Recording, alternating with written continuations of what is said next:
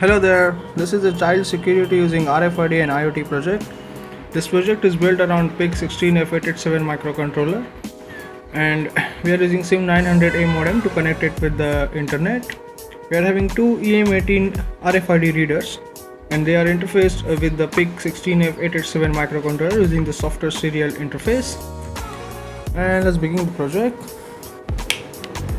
Okay, you can see this this made for the VRT college.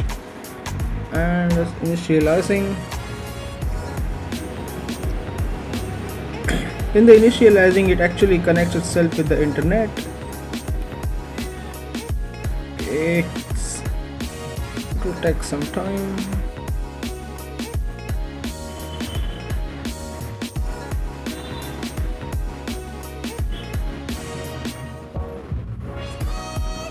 yeah it's done. And now it's saying please swipe your card.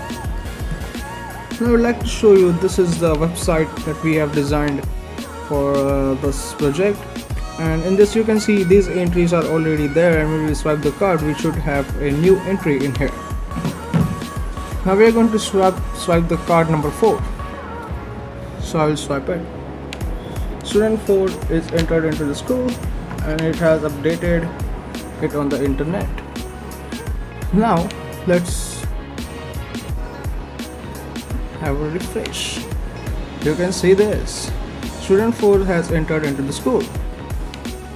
Okay. Now let me swipe the card 4 again on the bus. So it will say student 4 has entered into the bus. It is updating the same on the internet. Okay. I will refresh it and you can see the student number 4 is into the bus. Likewise, this system works with all the cards registered inside it. Thank you.